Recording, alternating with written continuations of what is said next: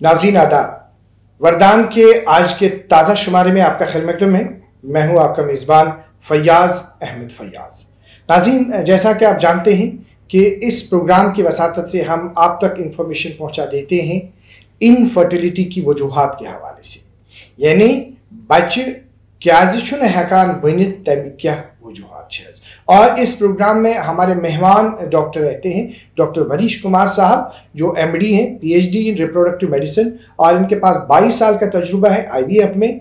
इनके बहुत सारे सेंटर चल रहे हैं, जैसे कि कनाडा में इनका है यूएस में, या जलंधर में पिछले 24 साल से काम कर रहे हैं, अमृतसर में 2016 से काम करें और यहाँ पे मगरवल बाग श्रीनगर में इन्होंने सेंटर खोला है 2020 से। और पच्चीस हज़ार से ज़्यादा प्रेगनेंसीज ये अचीव कर पाए हैं अभी तक। और अगर हम इनका देखेंगे कि आई का रेट क्या है वो है सेवेंटी परसेंट सक्सेस रेट है।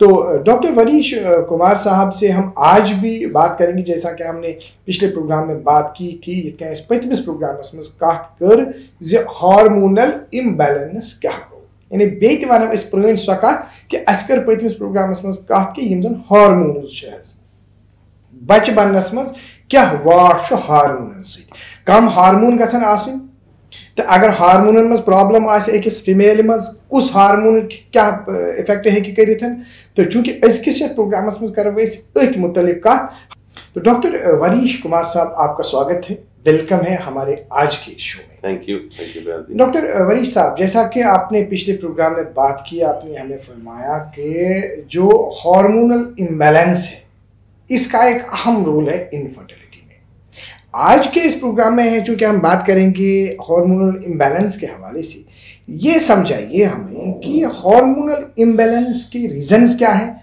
और किस तरह के हार्मोन होते हैं। देखिए फैज जी, मैंने जैसे आपको पहले भी बताया था कि मेल में हॉर्मोन्स जो हैं, वो भी रिस्पॉन्सिबल हैं इनफर्टिलिटी के लिए। फीमेल्स में बहुत सारे ऐसे हॉर्मोन्स हैं जो कि रिस्पॉन्सिबल हैं प्रेगनेंसी ना होने में। हम सबसे पहले अगर औरत की बात करें तो औरत में जो मेन हार्मोन जिसको हम रेगुलेटिंग हार्मोन बोलते हैं जिससे कि उनकी बॉडी के सारा जो फ़ंक्शन है बेशक वो हार्मोनल कंट्रोल है बेशक उनके एग बनने की कैपेसिटी है बेशक उनका थायराइड लेवल है। जी। तो सबसे पहले लेडी में देखते हैं कि प्रोलैक्टिन लेवल जो है वो एक ऐसा हार्मोन है जिससे कि बाकी के हार्मोन्स भी जो है वो रेगुलेट होते हैं। जी। So thirty to forty percent ladies में ये देखा गया है कि उनमें प्रोलैक्टिन जो है वो डी रेंज होता है या वो बहुत ज़्यादा होता है या अपनी रेंज से थोड़ा ज़्यादा होता है। उसके भी डिफरेंट डिफरेंट रीजंस होते हैं कि प्रोलैक्टिन क्यों एक लेडी में ज़्यादा पाया जाता है। सो so, ये एक टेक्निकल रीज़न है एक टेक्निकल हार्मोन है जिससे कि औरत में प्रेगनेंसी होने में रुकावट आ सकती है। सो so, प्रोलैक्टिन जो है उसका लेवल बहुत नॉर्मल होना बहुत ज़रूरी है सबसे पहली बात। फिर देखा गया है कि 30 टू 40 परसेंट लेडीज़ में थायराइड जो है वो भी एबनॉर्मल होता है। वो हाइपोथायराइडिज्म भी हो सकता है वो हाइपर हाइपरथायराइडिज्म भी हो सकता है। सो so, ये थायराइड भी एक ऐसा लेवल है जिसमें प्रेगनेंसी कई बार अचीव करने में परेशानी आती है पहली बात। नंबर टू प्रेगनेंसी होने के बाद प्रेगनेंसी कैरी ऑन ना कर पाना।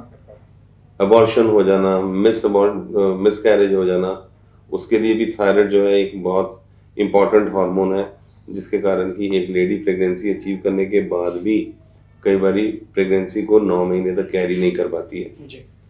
फिर उसके बाद लेडी में दूसरा हार्मोन जिसको हम एंटी मलेरियन हार्मोन बोलते हैं जिससे कि हमें ये पता लगता है कि एक औरत में एग बनने की जो कैपेसिटी है वो कितनी है उसकी एग की क्वालिटी कैसी होगी उसकी एग बनने की जो कैपेसिटी है वो कितनी देर तक काम करेगी कि उसका उसको उतनी देर में प्रेगनेंसी अचीव करने में कामयाबी मिल जानी चाहिए या उसको उस तरीके की दवाइयाँ दी जाएँ ताकि जो उसका एग है वो प्रॉपर तरीके से फॉर्म हो प्रॉपर तरीके से बने टाइम पे बने ताकि उसको अगर सब कुछ बाकी नॉर्मल है जैसे कि उसमें ट्यूब्स नॉर्मल है जैसे मैंने आपको बताया उनमें यूट्रस में कोई प्रॉब्लम नहीं है। जी। सो ये अगर सब कुछ ठीक है तो उस लेडी को प्रेगनेंसी अचीव करने में आसानी हो जाती है ज़्यादा दवाइयों की ज़रूरत नहीं पड़ती है। एंटी मोलेरियन हार्मोन बेसिकली एक ऐसा हार्मोन जिससे एग बनने की क्वालिटी एग बनने की कैपेसिटी और कब तक एग बन सकता है इसको डिसाइड करता है। क्या वो लेडी में ए का जो लेवल है वो बहुत हाई तो नहीं है जिससे हमें ये पता लगता है कि वो लेडी जो है उसमें पॉलिसिस्टिक ओवरीज जिसको कहते हैं हम लोग कि जो उसका एग है वो टाइम पे नहीं बनता उसको पीरियड्स जो है वो टाइम पे नहीं आते और उसके कारण वो प्रेगनेंसी अचीव नहीं कर पाती। सो एक एंटी मलेरियन हार्मोन जो है, ये एक बहुत इंपॉर्टेंट हार्मोन है और एक डॉक्टर बहुत अच्छे तरीके से कपल को ये समझा सकता है कि एंटी मलेरियन हार्मोन अगर कम है तो उसको प्रेगनेंसी अचीव करने के लिए किसी साइंटिफिक टेक्निक जिसको हम आईवीएफ प्रोसीजर बोलते हैं, कई बार आई प्रोसीजर बोलते हैं, इन चीज़ों से सहायता लेनी चाहिए, इन टेक्निक्स की मदद लेनी चाहिए ताकि उनको प्रेगनेंसी हो सके। डॉक्टर साहब, चूँकि आपका जो सेंटर चल रहा है, पिछले 2000 मतलब 20 में आपने स्टार्ट किया, इधर मगरमल बाग श्रीनगर में, ये बताइए कि जो अब आपने कश्मीर के पेशेंट्स देखी, अगर हम हॉर्मोन्स की बात करेंगे तो उनके हवाले से आपका क्या कहना है? देखिए, सबसे पहले तो फयाजी जो हम लोगों की डाइटरी हैबिट्स हैं, जो हमारा वेदर है, कश्मीर में जो हम लोगों का एनवायरनमेंट है जिस तरीके का पानी आबो हवा है ये सब चीज़ें जो हैं वो हॉर्मोन्स को डिस्टर्ब करने में कई बार बहुत बड़ा रोल प्ले कर सकती हैं। और कई बार ये देखा गया कि अगर वो नॉर्मल कल्चर में या नॉर्मल तरीके के माहौल में रह रहे हैं तो उनमें उन लेडीज़ में वो प्रॉब्लम्स कम देखने को मिलती हैं। सो so, सबसे पहले ये समझना है कि डाइटरी हैबिट्स आबो हवा आपका जो रहने का रोज़मर्रा का तरीका है वो उसके बाद आपका खाना पीना ये सब चीज़ें जो है ये कई बार हार्मोन को डिस्टर्ब कर सकती हैं।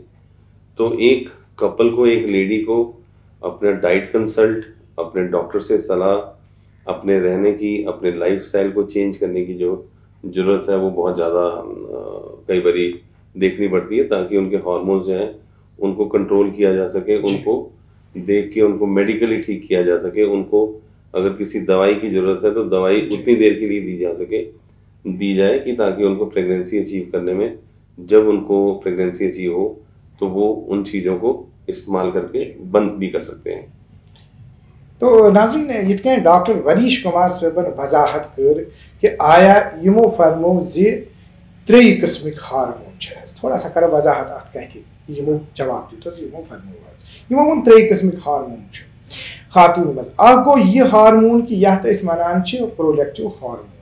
वन अगर समझन कोशिश कर कि हारमोन क्या यह प्रोडक्टिव हारमोन क्या गो अम सह वो अम सात कि यह हारमोन जन जन यह प्रेगनेंट लेडी अत बढ़ान अम सह मतलब जन दोद सह अम सत तो या अमिच लेवल वुशन गो अख हारमोन यथ प्रोडक्टिव हारमोन वन कह लेडी तिस वन मतलब तुम गए अमिच मतलब लेवल ज़्यादा गसान तो सो हेकान प्रेगनेंसी अचीव कर या इथे कन फरमो यमो कि दोम जन थायराइड थायराइड तम वो खास अमल दखल त्रम वो यमो ए एम एच युस जन एंटी मलेरियन हारमोन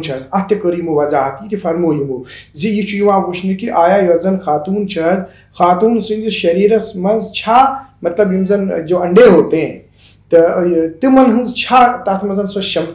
है अंडे बनने की क्षमता की नहीं है। और ये तीन चीज़ें हैं, तीन हार्मोन्स के हवाले से डॉक्टर साहब ने बिल्कुल वजातन हमें समझा दिया। तो सुति वो यमो कि यह सा यूजन ऐसे, या ये कश्मीर डिवीज़न में पेशेंट कि लाइफ स्टाइल चूँकि लाइफ स्टाइल के हवाले से हम बिल्कुल तफसीला बात करेंगे। तो ये बताइए अब आप डॉक्टर साहब, हमें कि अब रीज़न हम जानने की कोशिश चूँकि आपने हार्मोनल इम्बेलेंस के हवाले से बात की, आपने कहा कि इसमें बड़ा अमल दखल है, बड़ा रोल है। चाहे इसमें अब एमएच की बात करेंगे, चाहे इसमें हम प्रोलैक्टिन की बात करेंगे थायराइड की बात करेंगे तो क्या रीजंस हो सकते हैं? और इनके मतलब ये जो इनका मतलब एक ही लेवल में ना रहना।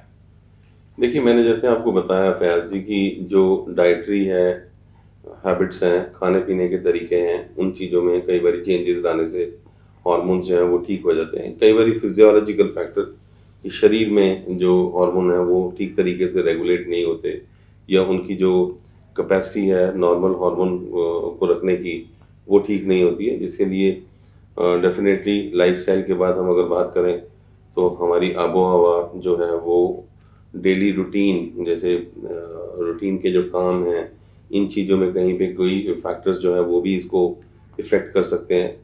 मेल्स में कई बार जैसे हम देखते हैं कि बहुत ज़्यादा स्मोकिंग या बहुत ज़्यादा हार्ड लेबर या बहुत ज़्यादा जिसको कहते हैं फ़िज़िकल स्ट्रेस जिसको कहते हैं वो सब चीज़ें जो हैं वो मेल्स में ही एक फैक्टर हो सकता है। मेल्स में भी डाइटरी फैक्टर्स जो हैं वो बहुत ज़्यादा हैं। कश्मीर में थोड़ा सा जैसे बिकॉज़ यहाँ का ट्रेंड भी है और यहाँ पे थोड़ा सा हम लोग नॉन वेजिटेरियन फ़ूड के ऊपर ज़्यादा डिपेंडेंट भी हैं फोकस भी है और जो वेजिटेरियन लोग हैं उनमें भी इस तरीके की कुछ कमियाँ पाई जाती हैं। बट नॉर्मली ये देखा गया है कि एक नॉर्मल जो ह्यूमन बॉडी है उसमें नॉन वेजिटेरियन फ़ूड का कई बार बहुत ज़्यादा इफ़ेक्ट जो है वो लेडी के और मेल दोनों के आदमी में भी और औरत में भी उसका इफ़ेक्ट जो है वो एडवर्स हो सकता है। सो so, अब ये तो नहीं है कि हम लोग अपना डाइट को नॉन वेजिटेरियन को बिल्कुल बंद कर दें। पर जितना अवॉइड किया जा सकता है, जितना कम किया जा सकता है, जितना उसको रिस्ट्रिक्ट किया जा सकता है तो डेफिनेटली वो बहुत ज़्यादा मदद करने में मतलब मदद करता है एक ह्यूमन बॉडी को। और कोशिश ये रहनी चाहिए कि एक नॉर्मल जैसे हम लोग हरी सब्जियों का ज़्यादा इस्तेमाल करें, बहुत ज़्यादा मसाले, घी, तला हुआ जो फ्राइड चीज़ें हैं, इन चीज़ों को अवॉइड करें। पानी जो पीने की डेली की रिक्वायरमेंट है, उसको प्रॉपर रखें। नॉर्मल जो एक ह्यूमन बींग है, तीन से चार लीटर पानी पर डे अगर कंज्यूम कर रहा है तो डेफिनेटली बहुत सारी इन्फेक्शन बहुत सारे हॉर्मोन्स ये सब चीज़ें कंट्रोल में लाई जा सकती हैं और ये लाइफस्टाइल का एक हिस्सा ही है हमारे। डॉक्टर साहब, अब हम आप हमें इस तरह से समझाइए इस बात को कि जो आपने बात की अभी हार्मोन्स के हवाले से। चूँकि आपके पास बहुत सारे पेशेंट्स आते हैं, यहाँ मतलब कश्मीर डिवीज़न से बहुत सारे पेशेंट्स आपकी तरफ़ रजू करते हैं, यहाँ पे जो आपका सेंटर है, मगरमल बाग श्रीनगर में, वहाँ पे आ जाते हैं, वहाँ पे वो कंसल्टेशन लेते हैं। तो ये बताइए आप हमें कि ये जो अभी आपने बात की हार्मोनल इम्बैलेंस के हवाले से तो यहाँ पे आपने क्या देखा? जो यहाँ के पेशेंट्स हैं, किस किस्म के हार्मोन की आपको लगी कि कमी है? चाहे हम एम की बात करेंगे प्रोलेक्टिव की बात करेंगे या थायराइड की बात करेंगे देखिए एक तो अनअवेयरनेस जो है फयाजी वो बहुत बड़ा फैक्टर है। सेकंड जब किसी पेशेंट को या किसी मेल में या किसी फीमेल में कोई हार्मोनल इम्बैलेंस होता है, जिसकी उनको जानकारी एक डॉक्टर ही दे सकता है।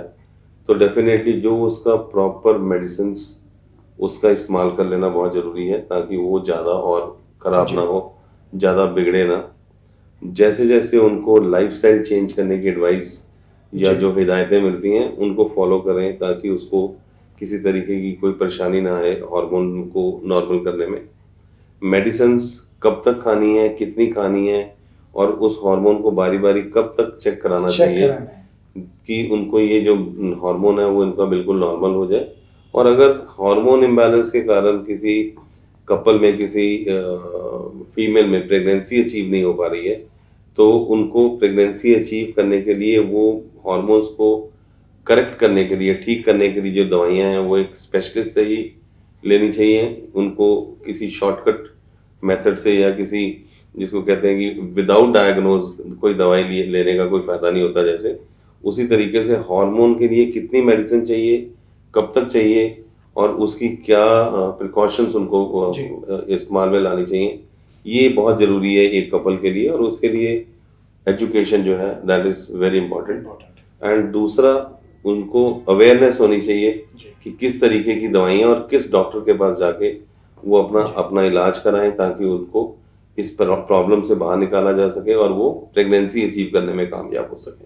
नाजरीन, इतने डॉक्टर वरीश कुमार साहब फरमो यूमो, वोन जी की मतलब कम रीजन है कि यमो कनित एम एच या थायराइड या प्रोडक्टिव थायराइड ये अमि कस्म प्रॉब्लम है अकिस खातून मज तमिस हे बच्चे बनित चूँकि ये प्रोग्राम जो है, इस प्रोग्राम का मुद्दा व मकसद ये भी है कि जो आम कहा जाता है कि कहीं पे बच्चा नहीं है, कहीं पे ज़्यादा से ज़्यादा जो अब ये कसूरवार जो इस हवाले से खातून को माना जाता है, नहीं जी, अब ये। लेकिन ये नहीं देखा जाता है कि आया हो सकता है, मर्द में भी प्रॉब्लम हो सकती है।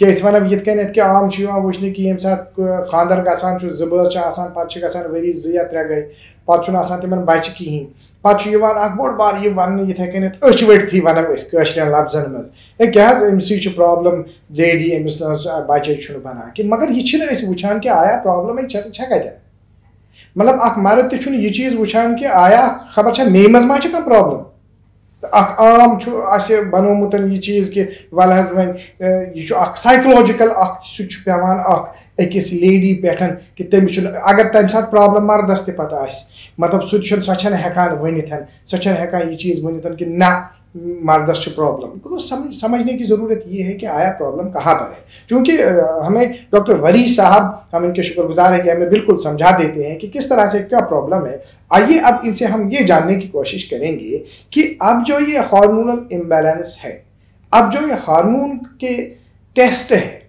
ये ये किस तरह से देखते हैं वरदान में?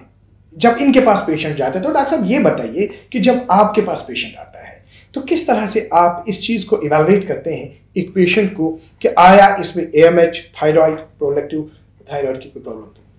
देखिए जो बेसिक हार्मोन जैसे मैंने आपको बताया कि प्रोलैक्टिन थायराइड एक बेसिक रेगुलेटिंग हार्मोन्स हैं जिससे कि बाकी की बॉडी के फ़ंक्शंस और बॉडी के हार्मोन्स जो हैं वो इफेक्टेड हो सकते हैं। उनसे उनके ऊपर भी उसका असर पड़ सकता है। जी। तो डेफिनेटली ये हार्मोन्स जो है lady to lady patient to patient vary करता है। क्लिनिकल असेसमेंट के बाद कि क्या उस पेशेंट को ये टेस्ट कराने चाहिए या नहीं कराने चाहिए। क्लिनिकल असेसमेंट करने के बाद डिफरेंट डिफरेंट हार्मोन जिसमें बहुत सारे हार्मोन्स हैं एक औरत में और मर्द में भी बहुत सारे ऐसे हार्मोन्स हैं जिनको टेस्ट कर लेना चाहिए खासकर उन औरतों में और उन आदमियों में जिनमें बच्चा नहीं रुक पा रहा है प्रेगनेंसी नहीं हो पा रही है। सो so, फीमेल में डिपेंड करता है क्लिनिकल असेसमेंट के बाद उनको जब देखा जाता है, जांचा जाता है, उनकी हिस्ट्री ली जाती है, उनकी मेडिकल बैकग्राउंड लिया जाता है तो उसके बाद एक डॉक्टर एक कंसल्टेंट ये फैसला करता है कि इसके कौन से ऐसे हॉर्मोन्स हैं जिनको टेस्ट कराया जा सके या टेस्ट किया जाए ताकि अगर उसमें प्रॉब्लम है तो उसकी मेडिसिन स्टार्ट करके उनको मेडिसिन से मदद दी जा सके ताकि वो अपना जो मकसद है प्रेगनेंसी अचीव करने का, एक नॉर्मल प्रेगनेंसी को लाने के लिए वो अचीव कर सकें, उनको बच्चा हो सके, वो प्रेगनेंसी अचीव करके एक हेल्दी बेबी को जन्म दे सकें।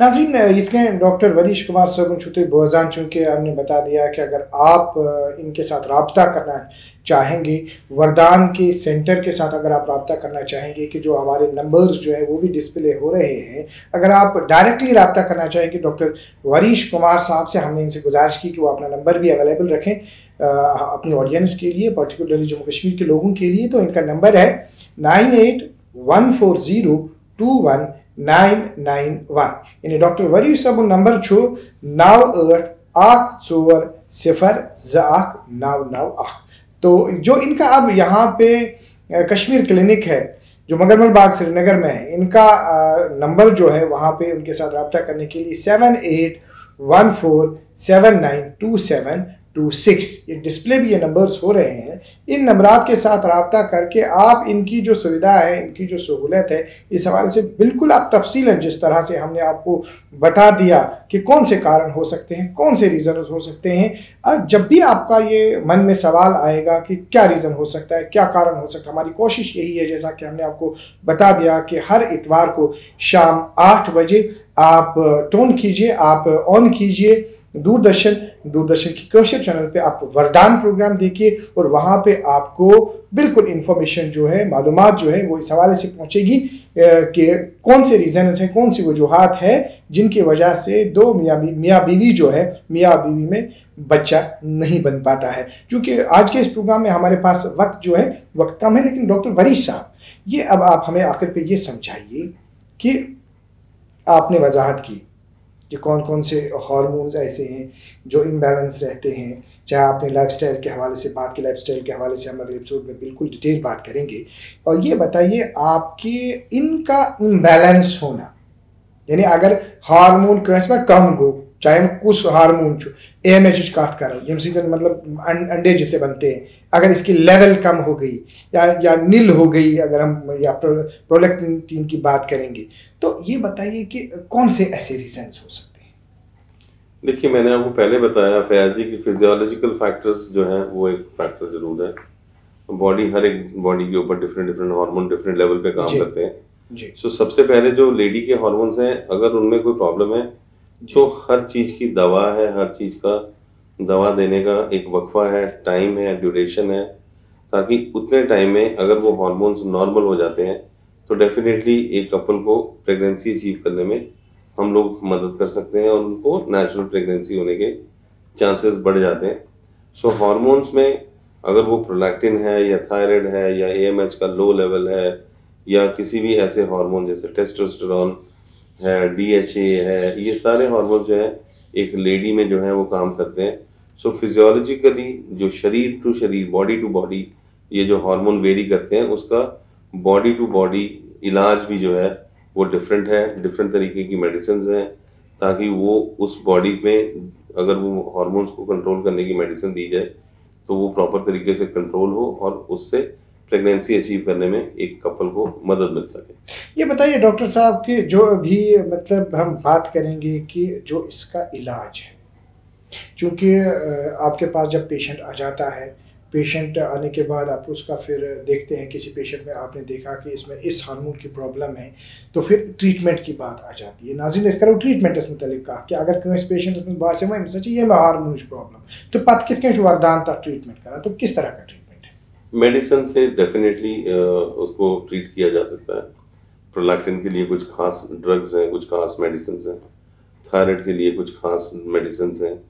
एएमएच की क्वालिटी को बेटर करने के लिए कुछ मेडिसिन हैं जो कि पेशेंट को दी जा सकती हैं बट उन मेडिसिन को देने का कुछ पर्टिकुलर टाइम है कि अगर एक दो महीने की मेडिसिन के बाद अगर वो हॉर्मोन्स लेडी में कंट्रोल कर लिए जाते हैं या उनको ठीक कर दिया जाता है तो उसको डेफिनेटली उसको प्रॉपर तरीके से गाइड किया जाता है कि अब आपके हार्मोन्स जो हैं वो नॉर्मल हो चुके हैं और आपको प्रेगनेंसी अगर अचीव होने के चांसेस हैं तो इन दिनों में आपको प्रेगनेंसी अचीव भी हो सकती है।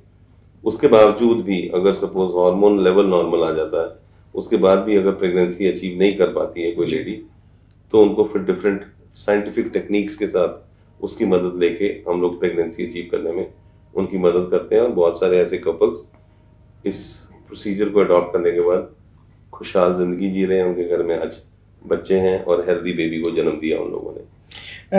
जो कि नाजरीन इतके फरमो डॉक्टर वरीश साहब ने फरमाया इन्होंने बता दिया कि इनके पास ट्रीटमेंट के ऑप्शंस अवेलेबल है, लेकिन इन्होंने समझा दिया इसमें कि कब अद्वियात का इस्तेमाल करना है, कब तक अद्वियात का इस्तेमाल करना है, और इनके जो सेंटर्स हैं, यानी यमजन यमन सेंटर तम बाजत पे ये अकिस पेशेंटस अकिस बेमारस यह समझावान कि आया, तमिस कत हदस तान दवा खुन कोत तान दवा खुन तो कुस वक्त सह पर्टिकुलर बात इसमें यह है।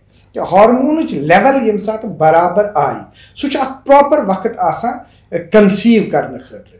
यानी ये आया, ये, वन पत यह कुस वन ये तो सेंटर ही बता सकता है, ये तो वरदान ही बता सकता है कि आया ये पेशेंट जो है, ये पेशेंट हसा वनकस ये प्रॉपर टाइम है इसका, यानी मौजू वक्त लेडी खतर कंसीव गसन खतर तो ये इस तरह की जो इंफॉर्मेशन है, इस तरह की जो जानकारी है, ये आप तक पहुंचाई जाती है कि अगर कंस वोन फर्मो अत एम एच अगर कंस मतलब कम आ या सह बिल्कुल सही, या थायराइड इनबैलेंस रोज तो उसके लिए कौन कौन से अद्वियात हैं? उसके लिए कौन सी दवाइयाँ हैं? लाइफस्टाइल के हवाले से उन्होंने बात की।